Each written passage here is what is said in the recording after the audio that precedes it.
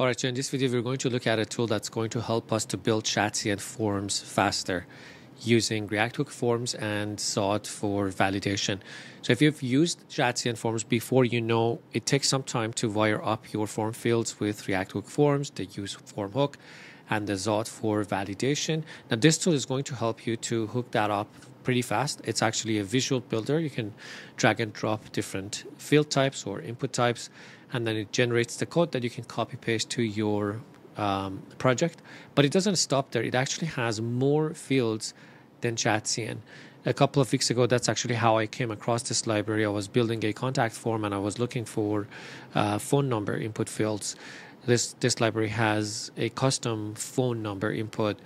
Uh, we're going to go over the components. Uh, it has date time pickers and more stuff that you can use inside of your forms.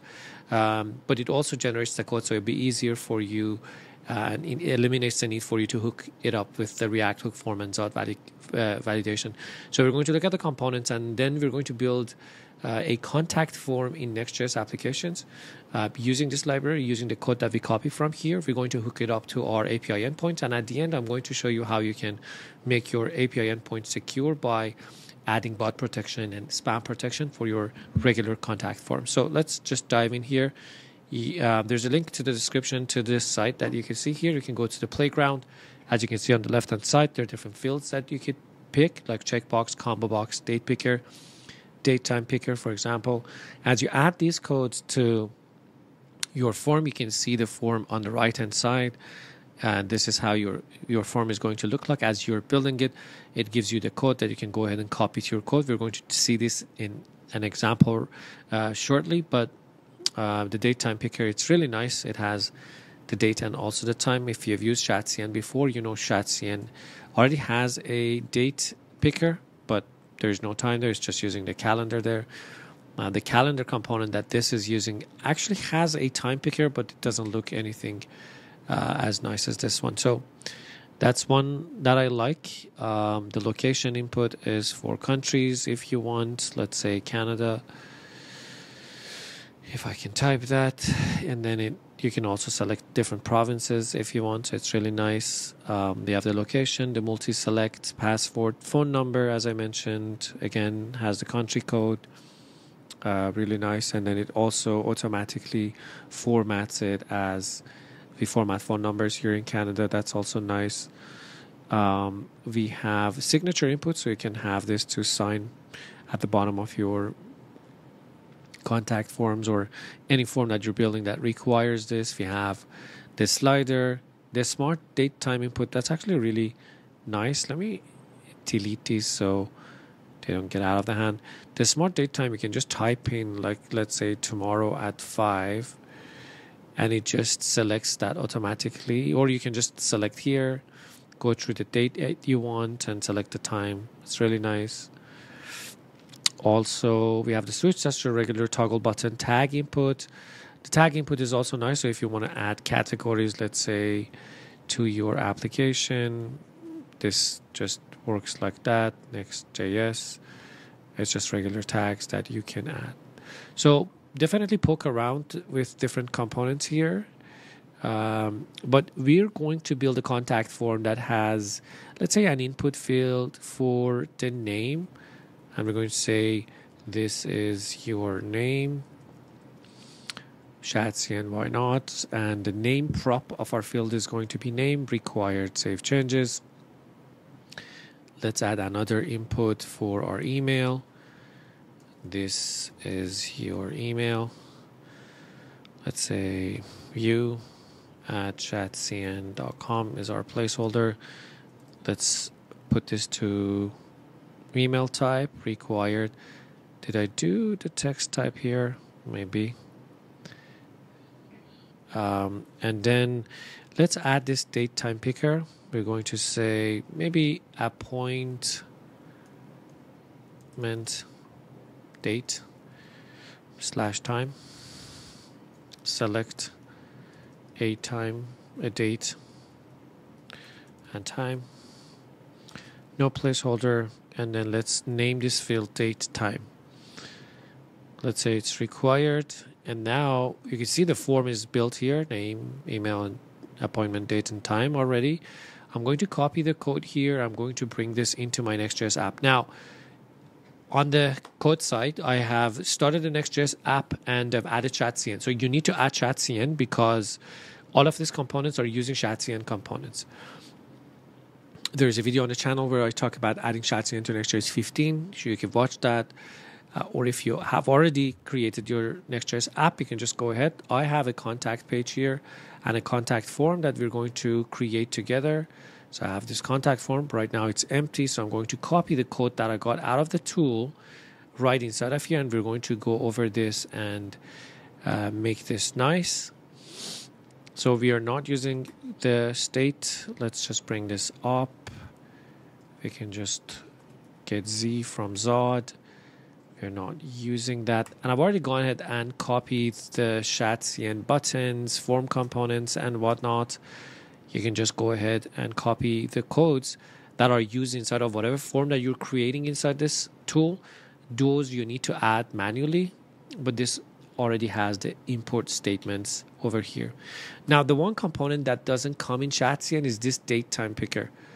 So the import statement is here, but we don't have that component. So you have to go to uh, the GitHub repository and go to components, go to UI, and select whatever component that you've chosen. So for example, I have chosen datetime picker, and I have copied this whole thing wholesale into a custom component I created inside of my UI folder named datetime picker.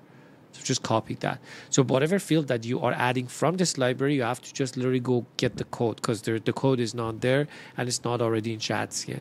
The regular stuff from ShadCN like forms, buttons, I don't know, inputs, popovers and stuff that's used inside of these forms can be directly automatic, uh, directly copied or installed from ShadCN. But anything that's custom, you have to copy from um, the library itself or the GitHub. Now, I've already defined my form schema inside of my lib. So instead of having it here, I have my schemas here. So form schema has a name, email, and date.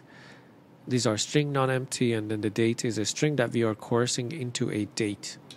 Okay, so now let's get the form schema from our lib inside of this file. Now that form schema was automatically generated by the tool. So if you look at the code that was generated here, it already has the form schema. So it creates everything. That that's why it's making uh, building forms faster. It already hooks up your schema. The use form hook is already here. I'm going to initialize this with name and email empty as my default values. I have my onSubmit form handler. This is going to get executed once the form submission actually passes the Zod validation. This is where we're going to call our API endpoint in a second. The rest is just using ShadCN form components. If you are used to form components, this should be familiar for you. You just wrap the whole HTML form with this form component, wrap this form. Uh, this is what you get out of the use form hook. And for every field, because uh, we are rendering uh, something custom here, we are passing in the form control and getting the render function to return our own fields. For example, ShadCN input for the email and name, and then this datetime picker for the datetime picker. So it's um, already set up nice for us. So I have the contact form now. Let's go and open up our application, localhost port 3000. If I go to my contact form, I see this form already populated here. To just make it nicer, maybe I can wrap this inside of a card component. We can get this from ShadCN as well. And maybe the card content.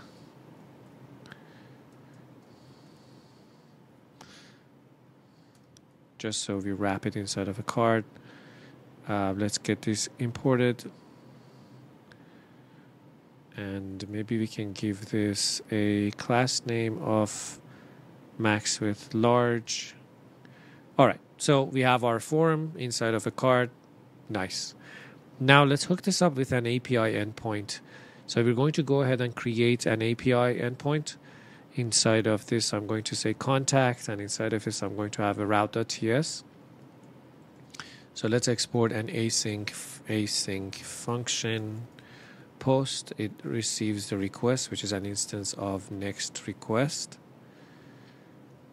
Now to get the body, we're going to await request.json.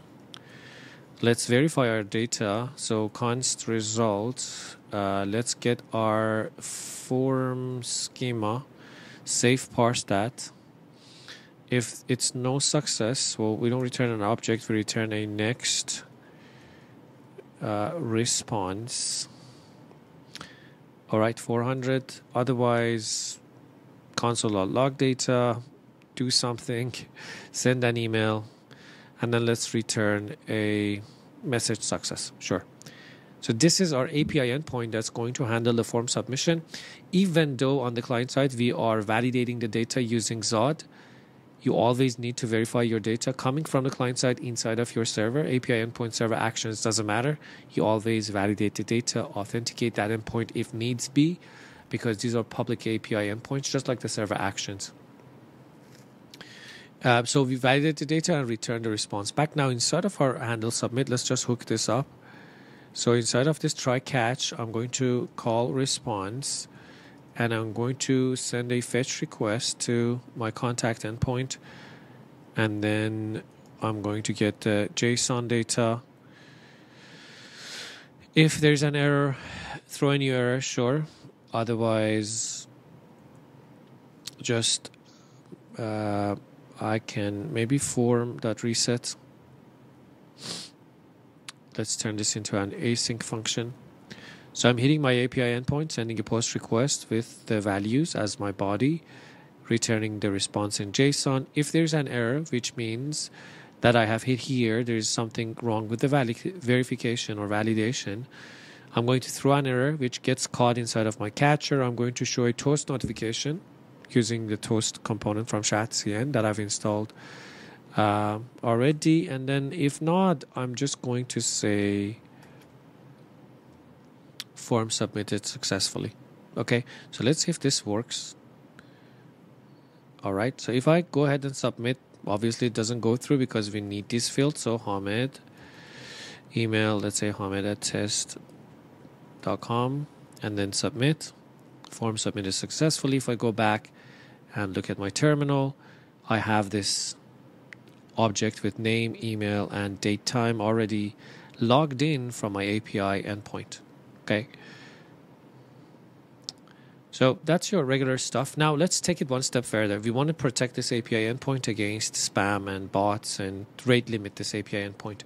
Now, a couple of weeks ago, I introduced ArcJet, which is security as code. So you write security inside of your code. So you co-locate the logic inside of your API endpoint, server actions, and middlewares in Next.js which allows you to combine security with your application logic. You can fetch your database and decide whether or not you wanted to allow a specific request to go in. That's substantially different from when you have a proxy sitting outside of your application server blocking requests coming in. You never know. You, you don't you don't get to make decisions, or you don't see the requests coming in, or why they are denied.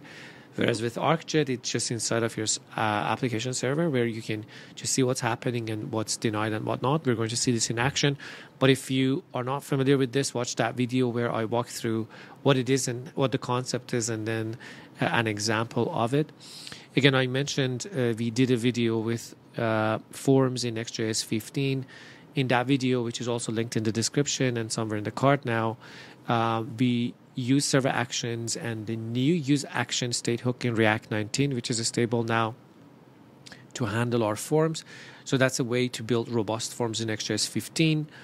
In that video, we're using ArcJet instead of a server action. So even if you're using server actions, you can still protect the server actions because at the end of the day, server actions are an API endpoint. is just automatically created for you or eliminates the need for you to create that API endpoint. But under the hood, it is basically a post API endpoint. You can use ArcJet to protect that against rate limiting and bot protection. But you can also add ArcJet to your Next.js middleware that runs for the whole site. So it's very interesting. If you haven't already, go ahead and create an account. I've already done that. And once you have an account, you can get your ArcJet key. And the installation process, it's really simple. So you get the ArcJet Next package. I've already done this. You set your environment variable key and then you create a new ArcJet client and add rules. So, for example, let's just create uh, this ArcJet client, if I can copy this wholesale, excuse me. You know what? Let's just copy the whole thing. And I'm going to bring the whole thing over here. And why not? We're going to use a get request as well. Uh, let's get this one. Let's move that one up top. And I'm going to explain what we're doing in a second, so bear with me while I finish copying the code here. So, all right.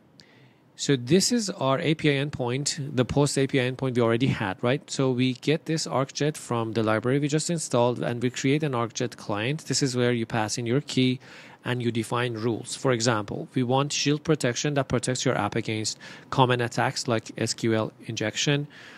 You can detect bots and protect against bots. You can also allow certain bots like search engines and you can rate limit. There are different algorithms you can use for rate limit. Here, this is a um, token bucket rate limiting.